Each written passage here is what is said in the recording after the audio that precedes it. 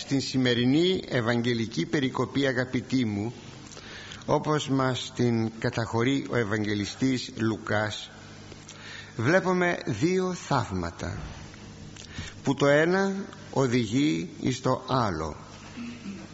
Είναι το θαύμα της επιμονής και το θαύμα της θεραπείας της τυφλώσεως. Εάν το πρώτο έλειπε το δεύτερον δεν θα συνέβαινε αλλά ας δούμε πως θα διηγείται αυτά ο Ευαγγελιστής Λουκάς. Καθώς ο Ιησούς πλησίαζε στην Ιεριχώ ένας τυφλός καθόνταν στην άκρη του δρόμου και ζητιάνευε. Όταν άκουσε το πλήθος που περνούσε ρώτησε να μάθει τι συμβαίνει. Του είπαν ότι περνάει ο Ιησούς ο Ναζωραίος και εκείνος φώναξε δυνατά Ιησού Ιε Δαβίδ ελέησόν με αυτοί που προπορεύονταν τον μάλωσαν να σοπάσει. Αυτός όμως φώναζε πιο δυνατά. Ιε του Δαβίδ ελέησόν με ο Ιησούς στάθηκε και έδωσε εντολή να τον φέρουν κοντά του. Όταν αυτός πλησίασε τον ρώτησε τι θέλεις να σου κάνω; Και εκείνος αποκρίθηκε. Κύριε θέλω να ξαναδώ το φως μου τότε ο Ιησούς του είπε να αποκτήσεις το φως σου. Η πίστη σου σε έσωσε και αυτός αμέσως βρήκε το φως του και ακολουθούσε τον Ιησού δοξάζοντας το Θεό.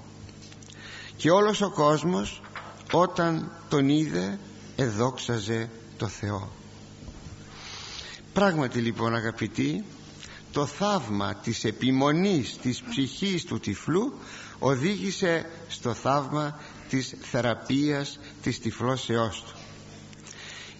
Η περικοπή είναι θαυμαστή από πολλές θεολογικές θέσεις.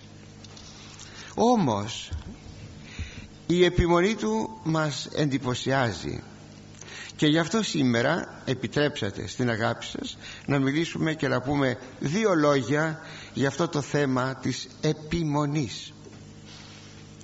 Τι είναι η επιμονή; Στο να μένεις σε αυτό που είσαι σε αυτό που νομίζεις και σε αυτό που πιστεύεις όπως ο μακαριστός γεροντάς μας ο κυρός θεολόγος. Ήταν ακριβώς επάνω εις αυτό. Είναι η σταθερότητα σε αυτό που αναλαμβάνεις να το φέρεις στο τελικό, στο τελικό του αποτέλεσμα. Πριν όμως προχωρήσουμε να δούμε αυτήν την θαυμαστή αρέτη θα πρέπει να διασαφίσουμε ότι δεν πρέπει να έχει καμία σχέση με το πείσμα. Το πείσμα είναι μια τυφλή επιμονή και είναι έκφρασης εγωισμού. Αυτό το πείσμα καταστρέφει ενώ η αρετή της υπομονής δημιουργεί. Η επιμονή πρέπει να κινείται σε φωτισμένο χώρο και πρέπει να είναι βεβαία εξ αντικειμένου και εξ υποκειμένου για το ορθό που επιμένει. Έτσι η επιμονή στον χώρο της πίστεως γίνεται πίστη σταθερή αμετάβλητη εδραία αμετακίνητη. Αναφερόμενος ο Απόστολος Παύλος στην πίστη ε, στην Ανάσταση των νεκρών τελειώνει ως εξής στην πρώτη προς Κορινθίους επιστολή του. Ώστε αδελφοί μου αγαπητοί εδραίοι γίνεστε αμετακίνητοι περισσεύοντες εν το έργο του Κυρίου πάντοτε ειδότες γνωρίζοντες ότι ο κόπος ημών ούτε έστι κενός άδειος κούφιος εν Κυρίω εξαιρετικά όμως μας εντυπωσιάζει και κάτι ε, ακόμη στον τυφλών η επιμονή του σε τούτο. Ενώ οι άλλοι τον αποκαλούν Ιησούν Ναζωραίων τι συμβαίνει, τι συμβαίνει λέγει ο τυφλός και του είπαν περνά ο Ιησούς ο Ναζωραίος εκείνος όμως τον αποκαλείται Ιών Δαβίδ τον αποκαλεί συγγνώμη Ιών Δαβίδ και όταν του λέγουν να σοπάσει επαναλαμβάνει την ιδίαν επίκληση. Είναι τρομακτική σημασία σε αυτό. Γιατί παρά την πληροφορία ότι ο Ιησούς είναι Ναζωραίος ενώ δεν είναι το Ναζωραίος απλώς έζησε στην Ναζαρέτ μετά την επιστροφή από την Αίγυπτο εκείνος επέμενε ότι είναι απόγονος του Δαβίδ και συνεπώς ο αναμενόμενος Μεσσίας. Όταν τον θεραπεύει ο Κύριος του είπε ότι η πίστη σου σε σοκέσε. Σε τι; Το ότι με απεκάλεσες όχι Ιησού Ναζωραίων αλλά με απεκάλεσες Ιησούν Υιόν του Δαβίδ δηλαδή Μεσσίαν αυτή είναι η πίστη αυτή, σε, αυτή ελέγχθη από σένα αυτή σε σώζει τώρα. Γι' αυτό θα ανοίξουν και τα μάτια σου. Είναι καταπληκτικό γιατί πρέπει να αναρωτηθούμε πού είναι αυτή η πίστη όπου ο Χριστός είπε η πίστη σου σε έσωσε όπου αλλού.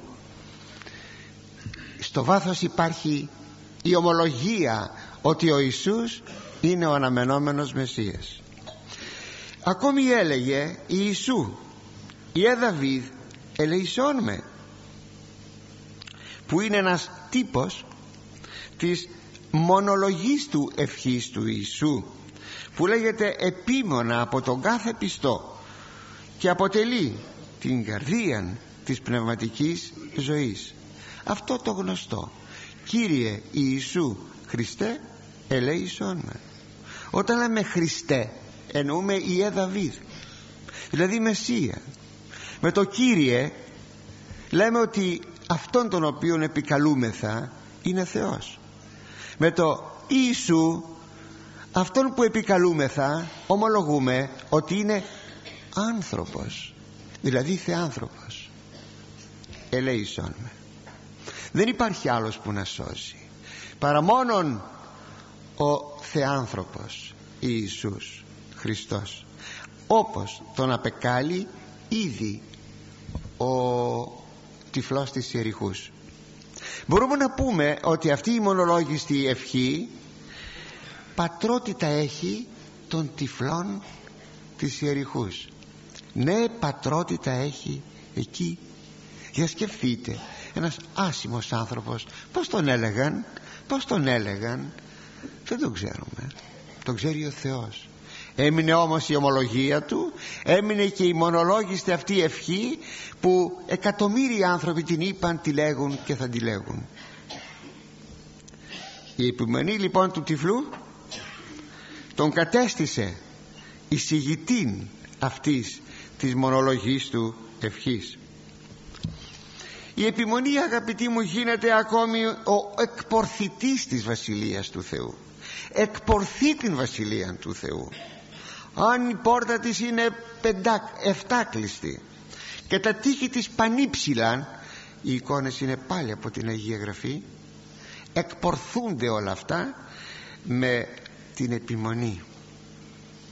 Η Βασιλεία του Θεού μας είπε ο Κύριος βιάζεται δηλαδή εκβιάζεται.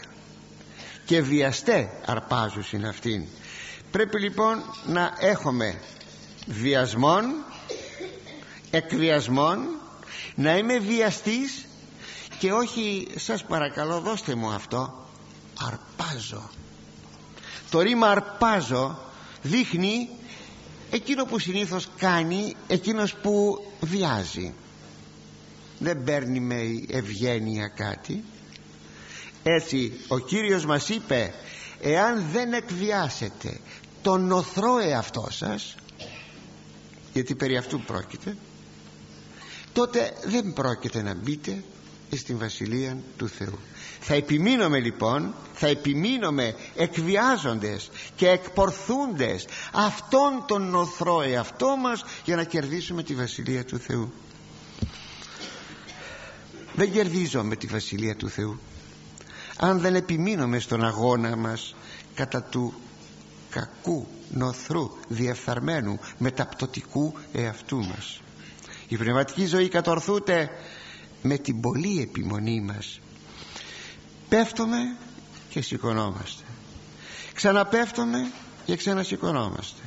Αυτό διαρκώς από τη στιγμή που γνωρίζουμε και έχουμε αυτοσυνειδησία τη ζωή γνωρίζουμε και έχουμε αυτοσυνειδησία μέχρι που να αφήσουμε τον κόσμο αυτόν. Η προσευχή μας πρέπει να έχει αυτό το στοιχείο της επιμονής. Πρέπει να επιμένουμε στην προσευχή μας. Ο Κύριος μας εδίδαξε ε, μη εκακίν εν τες προσευχές ημών. Δηλαδή να επιμένουμε και για να το καθορίσει αυτό είπε και την παραβολή εκεί του αδίκου κριτού με εκείνη τη χείρα γυναίκα η οποία λέγει ήθελε να βρει το δίκιο της. Αλλά αυτός αμελούσε ποιος ξέρει μπορεί και να δολοδοκήθηκε ποιος ξέρει. Και δεν της έδινε το δίκιο της. Αυτή πήγαινε κάθε μέρα και του έλεγε δώσ' μου το δίκιο μου τη βαρέθηκε. Όχι δυνάμει του δικαίου τη βαρέθηκε. Και της έδωσε λέγει το δίκιο της. Μόνο και μόνο γιατί λέω εκ τρίτου τη βαρέθηκε. Ο Κύριος είπε το συμπέρασμα. Πόσο περισσότερο ο πατέρας σας ο ουράνιος ο οποίος είναι δίκαιος δεν είναι άδικος. Εάν επιμένετε στις προσευχές σας θα σας δώσει εκείνο το οποίο τους ζητάτε ας θυμηθούμε ακόμη την επιμονή της Άνης της συζύγου του Ελκανά και μητρός του περιφήμου εκείνου προφήτου του Σαμουήλ. Ή το άτεκνος. Πως κατάφερε και έκανε αυτό το παιδί; Επέμενε στις προσευχές της. Επέμενε και μάλιστα την εξέλαβε ο αρχιερεύς ο Ηλί ότι είναι μεθυσμένη γιατί πήγαινε εκεί κοντά στην σκηνή του μαρτυρίου και εκκινούνται τα χείλη της αλλά δεν διέκρινε κανείς τι παρακαλούσε τον Κύριον.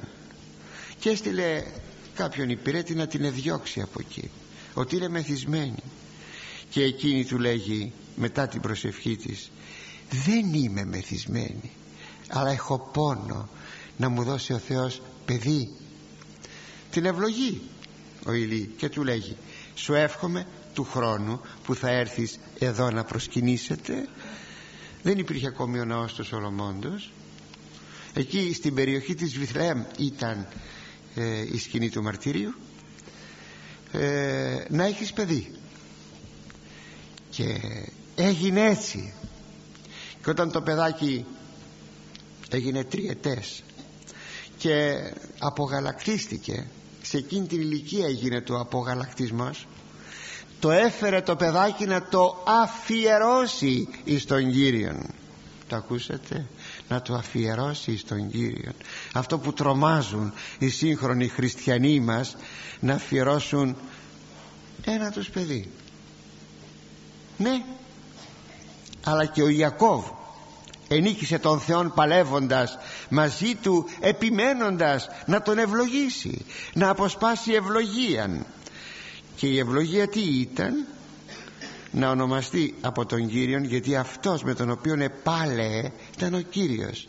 Θέλετε; Ο Θεός Λόγος. Και του λέει ε καλά σε ονομάζω Ισραήλ δηλαδή ευλογημένον. Επέμενε για την ευλογία και είχα νέα μητέρα. Δεν ήταν Εβραία. Εξισφάλισε τη θεραπεία της θυγατρός της με την επιμονή της στον Κύριον και με την ευστροφία της. Ναι Κύριε και τα κοινάρια που πέφτουν λέγει από το τραπέζι ε, που τρώνε τα παιδιά ο Κύριος της το είπε αυτό για να τη δοκιμάσει. Δεν είναι καλό να σου δώσουμε το ψωμί των παιδιών. Ναι αλλά και τα κοινάρια, τα σκυλάκια λέει. Τρώνε που είναι εκεί στο τραπέζι συνηθισμένη εικόνα που είναι οι γάτες και τα σκυλάκια γύρω στο τραπέζι. Άμα τρώμε χορταίνουν. Μεγάλη σου η πίστη. Είδατε. Τι ωραίο πράγμα. Μέσα στους αιώνες αγαπητοί οι μάρτυρες θα, υπομένουν, θα υπομένουν και θα επιμένουν εις την πίστη λέγει ο Θεός. Στην προς Εβραίους καταχωρείται. Είναι στην Παλαιά Διαθήκη. Εάν υποστήλετε ούτε ευδοκεί η ψυχή μου εν αυτό. Υποστέλω υποστολή της σημαίας λέμε θα πει κατεβάζω από τον κοντόν τη σημαία. Υποστέλω θα πει ε, μαζεύω συρρυκνούμε. Τι, τι, πού γίνεται η συρρήκνωση; Στην πίστη. Δεν ευδοκεί η ψυχή μου λέει. Δεν το θέλω αυτό ε, εν, εν, αυτό δηλαδή σε αυτό το σημείο. Και προσθέτει ο Απόστολος Παύλος στην προς Εβραίους εμείς δε λέγει ούκες μεν υποστολής εις απώλειαν αλλά πίστεως εις περιποίηση ψυχής. Εμείς δεν είμεθα παιδιά της υποστολής αλλά, που οδηγεί στην απώλεια αλλά είμεθα παιδιά της πίστεως εις περιποίηση ψυχής δεν πρέπει ο άνθρωπος να είναι υποστολής άνθρωπος και συμπληρώνει. Ο Απόστολος Παύλος βλέπετε μη παρετήσιστε τον λαλούντα. Προσέξτε λέει μην εγκαταλείψετε τον λαλούντα Θεόν που είπε ότι δεν ευδοκεί η ψυχή μου όταν υποστήλετε όλα αυτά δείχνουν την επιμονή αλλά και την υπομονή στο θέμα της πίστεως. Στα έσχατα μόνον όσοι έχουν αυτή την υπομονή και την επιμονή θα μπορέσουν να σταθούν όρθιοι στις ημέρες του Αντιχρίστου. Ξεκίνησαν οι ημέρες. Ξεκίνησαν. Όπως έχουμε στην παρουσία του Χριστού την πρώτη παρουσία έχουμε προδρομικές καταστάσεις και των πρόδρομων. Έτσι και στον Αντίχριστο θα έχουμε προδρομικές καταστάσεις και πρόδρομων και αυτός θα είναι ο ψευδοπροφήτης. Ήδη δρά ο, ψε, ο ψευδοπροφήτης και θα δράσει περισσότερο γιατί τόσο αυτός όσο και ο Αντίχριστος είναι και πρόσωπα. Βέβαια κάθε βαπτισμένος είναι εξορισμού αφιερωμένος. Εξορισμού ε; Όπως δείχνει και η κουρά του κάθε βαπτιζομένου το κόψιμο των μαλλιών κατά το βάπτισμα. Όμως έχουμε και μία δεύτερη αφιέρωση όπως είναι ο μοναχισμός που μερικοί καλοί εντός εισαγωγικών χριστιανοί μας στρέφονται εναντίον του μοναχισμού.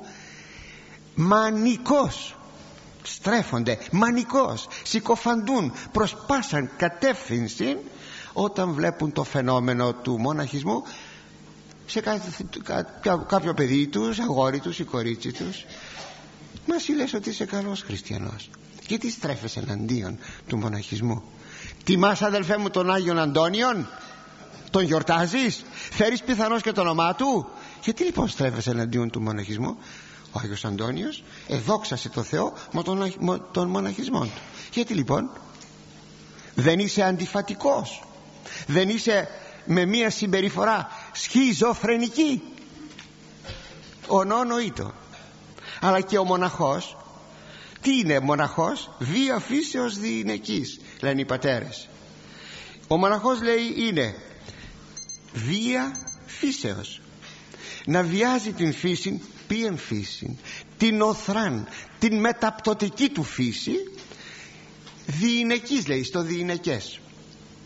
Που σημαίνει επιμονή δεν μπορείς να πεις ότι θα, ότι θα σωθείς με το να φορέσεις ένα ράσο. Ακόμη ο κόπος και ο χρόνος είναι γνωστό λυγίζουν των πιστών αλλά και των αφιερωμένων εις των Χριστών γι' αυτό γράφει ο Απόστολος Παύλος εν ανάγκες εν πληγές, εν φυλακές, εν ακαταστασίες, εν κόπης, εν αγρυπνίες, εν νηστείες. Νηστεία όχι με την έννοια της νηστείας, με την έννοια δεν έχω να φάω. και ο Απόστολος Παύλος προβάλλει τον εαυτόν του υπόδειγμα σε αυτή την περίπτωση και μας το παρουσιάζει τον εαυτόν του για να καταλάβουμε ότι χωρίς ταλαιπωρίες δεν μπορούμε να ζήσουμε την πνευματική ζωή το κορυφαίο δε που θα μας κρατήσει κοντά εις τον Χριστό και δεν θα υποστήλουμε είναι η αγάπη στον Χριστό. Γι' αυτό λέγει ένα μικρό απόσπασμα παίρνω. Λέει ο Παύλος στην προς Ρωμαίους τι μας χωρίσει από τις αγάπης του Χριστού; Ποιος μπορεί λέει και τι μπορεί να μας χωρίσει από την αγάπη του Χριστού; Θλίψεις. Ή στενοχωρία. Ή διωγμός. Ή λοιμός. Ή γυμνότης ή κίνδυνος ή μάχαιρα. Αλλά εν τούτης πάσιν υπερνικόμεν δια του αγαπήσαντος ημάς. Μας αγάπησε τον αγαπήσαμε. Εκεί βρίσκεται η νίκη μας. Ούτε οι συγγενείς πρέπει να κάμψουν το εν Χριστώ φρόνημα και την εν Χριστώ αφιέρωση ενός ανθρώπου. Ούτε ο κόσμος και τα χαμόγελά του. Οι ηρωνίες του. Γιατί ο κόσμος είναι έξω από τη σωτηρία. Μόνο όσοι επιμένουν εις την αρετή και εις την πίστη θα ειδούν τον Κύριον. Η αξία όμως της επιμονής δεν περιορίζεται μόνο εις τον χώρο της πίστεως και της αρετής αλλά επεκτείνεται και στον καθημερινό μας αγώνα.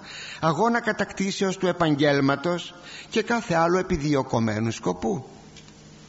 Ο μαθητής πρέπει να επιμείνει στη μελέτη του. Ο επαγγελματίας το ίδιο. Ο επιστήμον και ο ερευνητής οφείλουν να επιμένουν. Λέγεται ως παράδειγμα αυτό ότι ο Έντισον είναι αυτός ο οποίος εφεύρε τον φωτιστικό λαμπτήρα τη λάμπα ότι πέτυχε να λειτουργήσει μια λάμπα που την έφτιαξε αφαιρούσε τον αέρα από μέσα για νήμα έβαζε ε, ένα ε, ένα αυτό πως το λένε ε, για νήμα ε, δηλαδή που λέμε μέσα στη λάμπα. Έκοβε από καλάμι μπαμπού το απεινθράκωνε το βάζε μέσα αφαιρούσε τον αέρα έδινε ρεύμα και γόντανε και ξανακεγόντανε λέγεται ότι 6.000 λάμπες έφτιαξε με αποτυχία. Αυτήν που έφτιαξε και πέτυχε εφώτισε μόνον 27 ώρες. Σήμερα έχουμε τους λαμπτήρες που για να καεί το νήμα τους χρειάζεται και 10.000 ώρες. Αγαπητοί η επιμονή είναι αρετή.